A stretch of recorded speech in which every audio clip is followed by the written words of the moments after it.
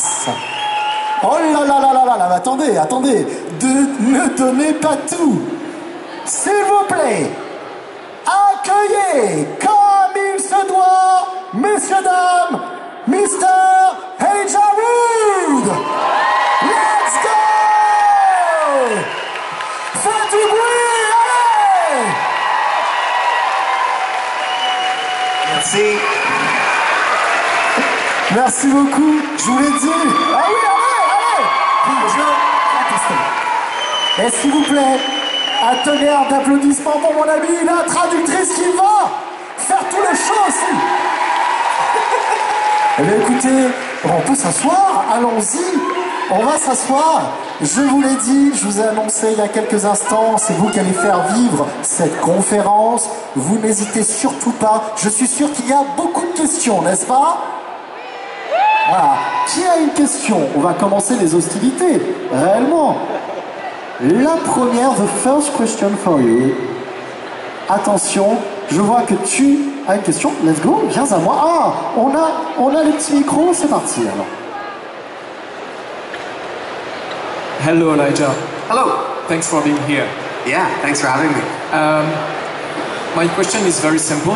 What was the hardest scene to shoot? During your famous trilogy, The King of the Jewel? The king of the jeweler. King of the uh, Jewel. the jewel. Yeah. Um. And, and, and uh, second question. Yeah. During your career, what was your worst experience with an actor? Aha. All right. Well, to your first question first. Um, No one will know. The um, I don't know. I think that the, the most complicated scene in that walking film that we made in New Zealand uh, was probably when my character was on the side of the mountain, kind of, you know, having been completely overtaken and ceased to really be himself anymore. Just, you know, getting that right emotionally, physically, that you know there was a there's a lot riding on that. It's such an important part of the end of that character's journey for that to be palpable and, and for you you as an audience to really feel what he's lost and and what he's going through in that moment. So that I just remember feeling a great deal of pressure, you know, un- understandably, to get to make sure I got that right. Um, and for both Sean Astin and I, because obviously that was really the two of us on that journey for, for a, a bulk of it. That was that was equally important for him as well. And I remember that day and kind of how we felt after the end of that day, feeling like I think we I think we did it.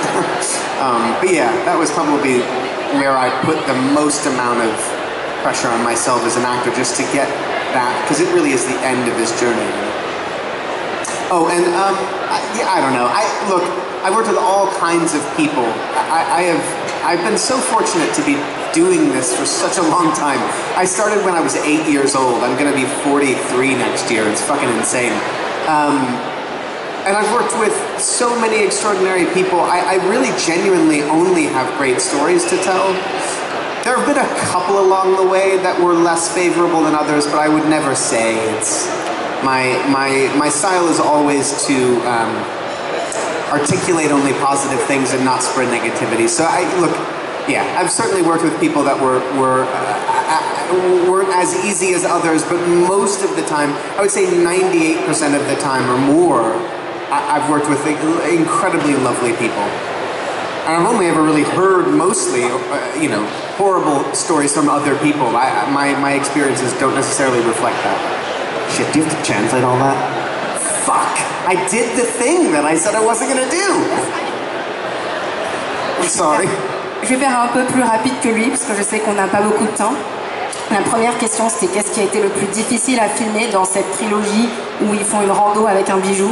Et si vous vous souvenez bien, sur la fin, euh, il grimpe euh, le côté du sur une montagne avec son ami et c'est un moment qui est plein d'émotions pour son personnage parce qu'il a perdu un peu, euh, il n'est plus lui-même, il a été complètement dépassé par le bijou et c'est, pour lui il y avait énormément de pression en tant qu'acteur pour faire justice à ce personnage et à ses émotions et avec le public. Et donc avec l'autre acteur qui, joue son ami, ils avaient énormément de pression et il se souvient encore du sentiment qu'ils avaient après avoir filmé ces scènes-là, de se dire bon bah j'espère qu'on y a vraiment rendu justice et on lui a demandé quelle était sa pire expérience avec un collègue, avec un autre acteur. Et il a énormément de chance, il fait ce travail depuis ses 8 ans et il a eu malgré ça que de bonnes expériences. Il a entendu des mauvaises choses de la part d'autres personnes, mais lui il a travaillé avec des gens super et s'il y a eu des moments un peu moins bien, il veut pas s'attarder dessus. On peut l'applaudir.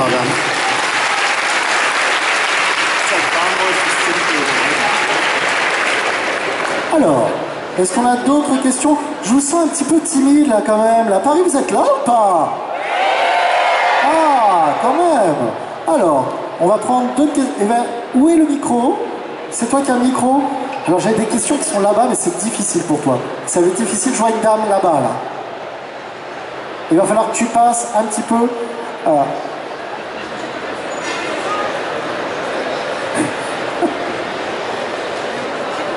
Je vois qu'elle est contente. Et Souman is very happy.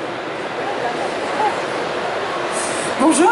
Bonjour. Et merci beaucoup d'être venu ici. Ça me fait vraiment très très plaisir. Je suis surexcitée. euh, ma question est, quand vous êtes arrivé devant cette jolie petite maison en Nouvelle-Zélande avec la porte ronde, quel était votre sentiment? Moi personnellement, c'est ma scène préférée. Mais voilà, j'aimerais votre sentiment à vous.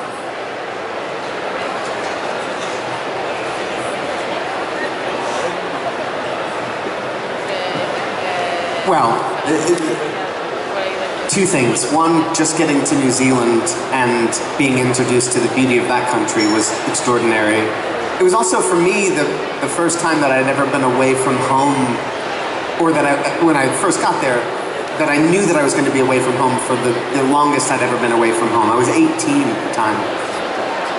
So the significance of that, of, of landing in that country and kind of thinking, okay, I'm about to begin this really extraordinary journey unlike anything I've been on. And then, yeah, the, the sets and the kind of creation of that world was beyond anything I'd ever experienced. And, and um, the, the, the home, I'm trying to speak around it, but the, the home with the round doors, um, it, it, was as uh, it was as, exactly as I'd imagined it to be. Um, it felt. I also remember feeling it felt very cozy and comfortable. There's something about the rounded edges and the, the sort of tunnel-like halls that felt very cozy and, and it felt like home. You kind of wanted to spend time in that space. And it felt real. I think the thing that to impart to all of you for, for what we were going through was we were working in these environments that came to life for us. We didn't have to do a lot of imagining. Obviously, there weren't, there wasn't a cave troll. Um, the Balrog wasn't there. But beyond that, we didn't have to imagine a lot because the environment that we were, we were in was so realistic and, and really transportive um, and amazing. Thank you. Alors sa première impression de la maison avec la porte ronde, bah, d'abord c'était son arrivée en Nouvelle-Zélande parce qu'il savait que c'était la première fois de sa vie qu'il allait être très loin de chez lui pendant aussi longtemps. Il avait seulement 18 ans, donc il a été très impressionné par ce pays qui, qui l'accueillait. Et il nous a dit trois choses sur son impression de cette maison. D'abord, c'était comme il l'avait imaginé. C'était très beau, c'était vraiment comme dans les livres. Euh, c'était cosy, c'était confortable. Ils avaient vraiment envie d'y être et d'y passer du temps. Euh, et puis ça rendait leur travail beaucoup plus facile parce qu'ils n'ont pas eu, ils ont pas eu à utiliser beaucoup leur imagination en fait. Tellement euh, le monde était bien recréé et ça leur donnait toutes les impressions dont ils avaient besoin pour jouer. Même s'il n'y avait pas certaines créatures comme un troll des cavernes, mais les, plateaux et la façon dont ils ont été construits les ont vraiment aidés à faire leur travail. And one thing to add to that the the experience of going to, and again, I'll I'll, I'll talk around it, but the experience of, of seeing our hometown built into the, the, the hillsides of, of the farmland of New Zealand, seeing that for the first time with the tree above the house and these incredible homes built into the hills, it, it was as if it had always been there. It was so magical, and, and, just as magical as it might be for you to visit it now, because you can go to New Zealand and see that for real. It was just as magical for us. You know, we'd crest a hill, and suddenly there, there was this land, this homeland for these characters that looked like it had been there forever, and it, it, it was really incredible for us. Et c'était absolument magique la première fois de découvrir au détour d'un chemin toute la ville où son personnage vit, donc on n'a pas le droit de dire le nom, mais avec toutes les maisons dans les collines, les arbres au-dessus des maisons et tout ça, que c'est vraiment, euh, ouais, c'est comme d'arriver dans un autre monde et que c'était un sentiment magique et c'est toujours là-bas. Donc si vous allez en Nouvelle-Zélande, vous pouvez le visiter. Et si vous avez ce sentiment de magie en arrivant, bah, sachez que c'est la même chose qu'ils ont ressenti. Merci beaucoup. On peut l'applaudir. hein. Moi j'ai une question. Une question. Il a tourné dans une adaptation d'une bande dessinée de Frank Miller. Est-ce est-ce qu'il a eu une préparation pour ce rôle qui est quand même aux antipodes de ses autres rôles? Et est-ce qu'il connaissait l'œuvre de Frank Miller avant de tourner dans cette adaptation?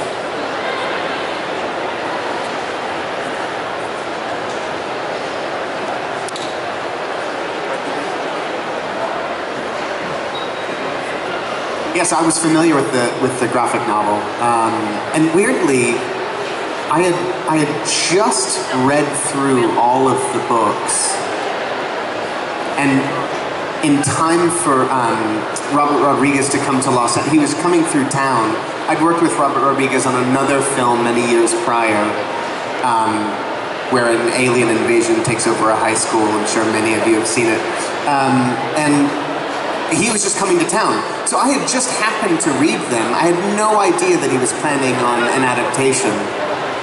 And over dinner, he mentions that he's working on an adaptation. I was like, that's wild, because I was I just read this and thought it would be amazing for someone to do this. And in my mind, it made more sense for it to be animated, just because you could more closely adapt this very specific work of Frank Miller's penmanship, like that.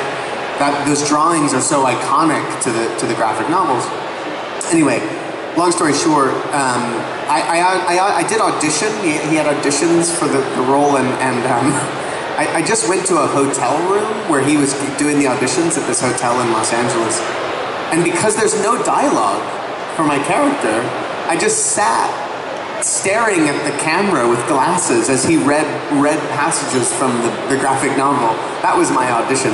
Um, there was no real preparation. Uh, obviously, there's no dialogue. There wasn't enough time to do any physical preparation because if there was going to be anything, it would have been sort of fight training, I suppose, because it's it's a very physical role. We shot all of my sequences in two days because there's no there's no locations, there's no sets. It's all against blue screen or green screen.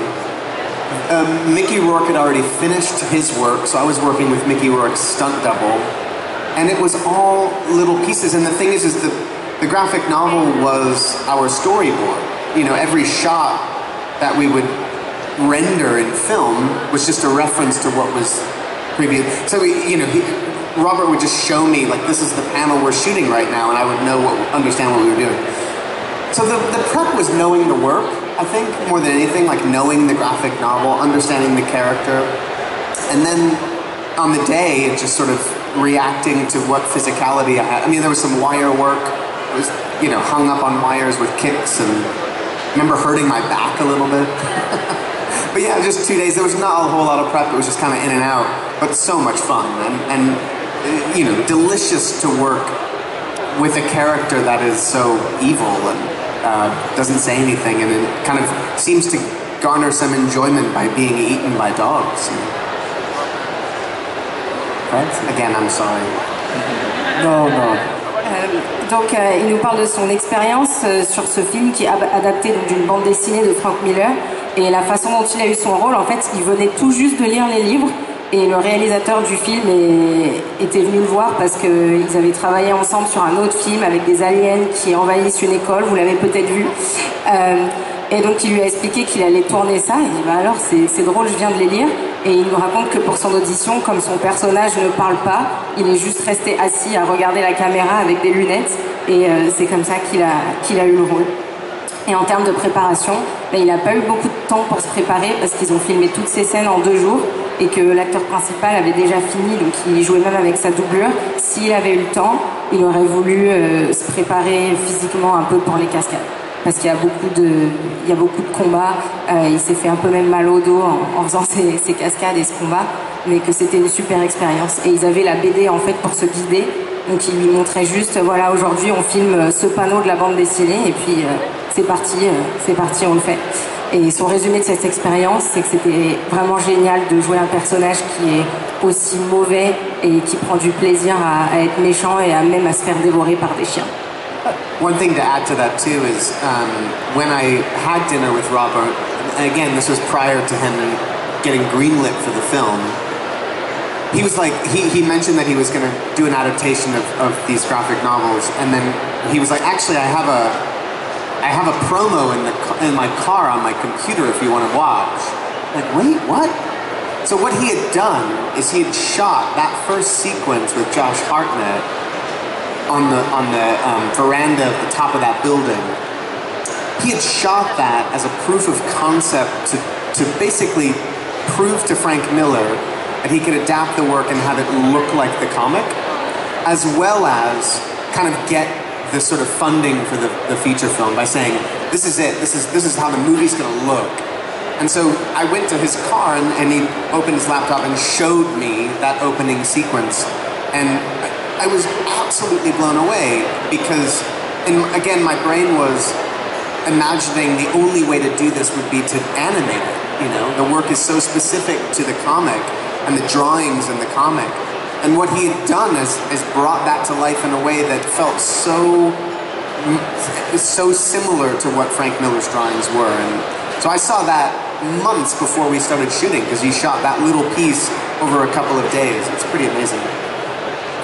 Et il nous raconte toujours sur ce film qu'il était super impressionné par la façon dont ça a été filmé pour ressembler à une BD. Parce que lui, il pensait, en ayant lu le- les BD, qu'il fallait que ce soit un dessin animé, en fait, pour respecter le style de Frank Miller. Et le réalisateur lui a montré euh, sur son ordi dans sa voiture qu'il avait tourné la séquence d'ouverture du film avec Josh Hartnett sur le toit, pour ceux qui l'ont vu, euh, pour euh, prouver à Frank Miller qu'il était capable d'adapter sa bande dessinée avec un style visuel qui correspondait et pour l'aider à obtenir les financements pour le film. Et c'est en voyant ça en fait qu'il a été complètement bluffé que, que le style pouvait être aussi bien respecté. Alors, eh, non, c'est tout. Allez là, faites-vous plaisir les gars. Faites-vous plaisir quand même. S'il vous plaît. S'il vous plaît. Merci. C'est bon. On va prendre une question de ce côté. Je t'ai passé de ce côté-là. Une question ici. Alors, je regarde. Vous me regardez tous avec des yeux, mais genre, c'est difficile. It's too difficult for me to choose. I know, it's hard. Yeah. Ah là. Allez, Miss, là-bas, toi. Aïe, aïe, aïe, aïe.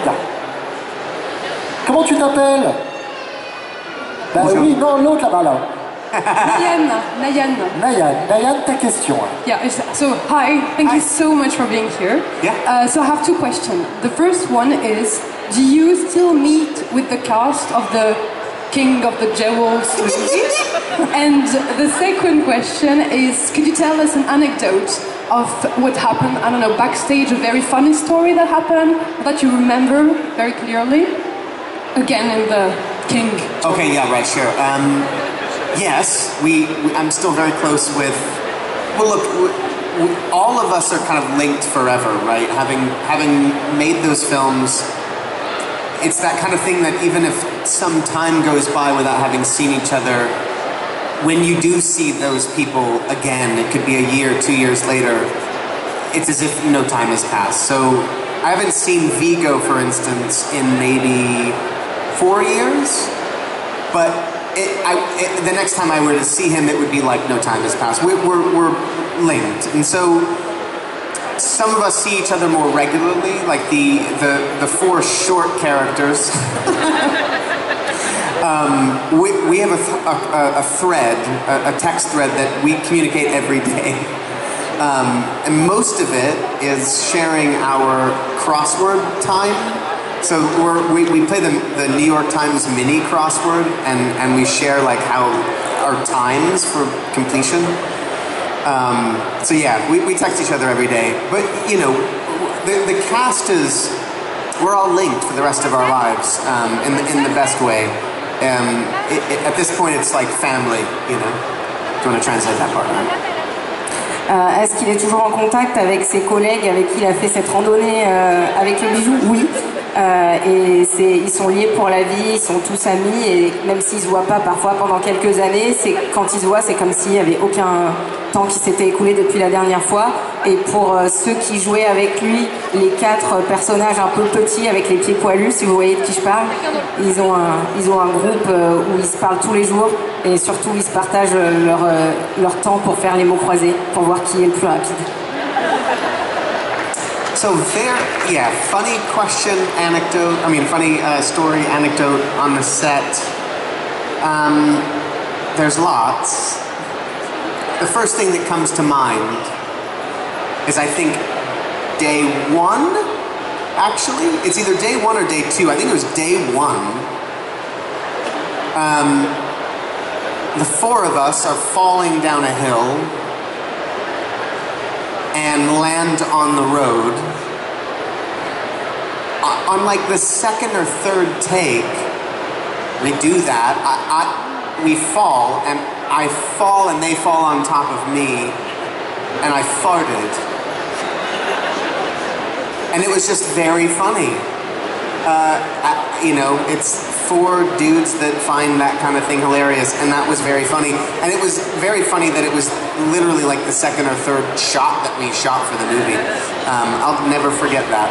But also another funny thing is that the, they they would they would um, the other two, Billy and Dom, would get me about things a lot. Like they, they had invented a game called Tig that wasn't a game, but they, they described this game to me in such detail that I believed it was real for like a couple of years, to where it wasn't revealed until many years later that it was a joke. But they kept, every time I felt like I was understanding the rules of the game, they would add and introduce new rules. Um, I'm very gullible, as it turns out. Euh, et alors des anecdotes rigolotes de tournage, il y en a deux. La première, c'était le jour de soit leur premier jour, soit leur deuxième jour, ils se rappellent plus, mais les quatre personnages en question, ils tombent euh, le long d'une colline et ils atterrissent sur la route. Et pendant l'une des prises, il est tombé par terre, les autres sont tombés sur lui et il a pété. Et donc euh, c'était quatre mecs en train de rigoler pour ce genre d'humour et ils s'en rappellent toujours, ça l'avait beaucoup fait rire. et sinon, les, les deux autres collègues qui, qui étaient dans cette scène, ils ont inventé, ils se moquaient beaucoup de lui. Et en fait, comme ils croient facilement ce qu'on lui dit, ils avaient inventé un jeu qui n'existe pas. Ils lui avaient expliqué toutes les règles très compliquées. Et en fait, il y a cru pendant trois ans. Jusqu'à ce qu'il apprenne que c'était une blague. Et à chaque fois qu'il croyait comprendre les règles, il rajoutait une